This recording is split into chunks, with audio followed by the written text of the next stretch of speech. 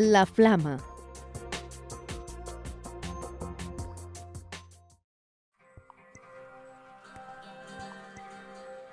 L'any 1999 es va inaugurar la Flama al carrer de Cartellà, una escultura de Ricard Bàccaro.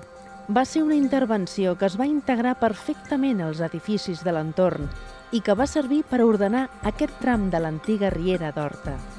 L'obra, que representa una enorme llengua de foc, és un record a les fogueres dels homes primitius, l'espai al voltant del qual la gent es va començar a reunir, a parlar i a escoltar-se els uns als altres.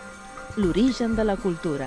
Com a homenatge al diàleg i a la cultura, l'autor va pensar aquesta flama de manera que canviés d'aspecte segons la perspectiva i la il·luminació. El dia que es va inaugurar, el 16 de maig de 1999, Bàcaro va amagar dins l'escultura un seguit d'objectes personals que pretenien dotar d'ànima aquesta enorme figura de ser. Entre d'altres, hi ha un CD de Jordi Savall amb el cant de la Sibilla, un llibre de poemes de l'escriptor Paul Auster, un llibre de John Berger i cartes d'altres amics de l'artista.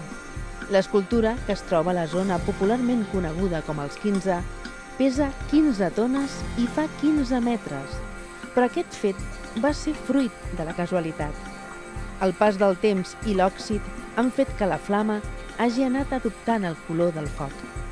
El temps també ha convertit la flama en un dels símbols de la Torre Llobeta, un barri ben viu que ha fet seu aquest foc cultural.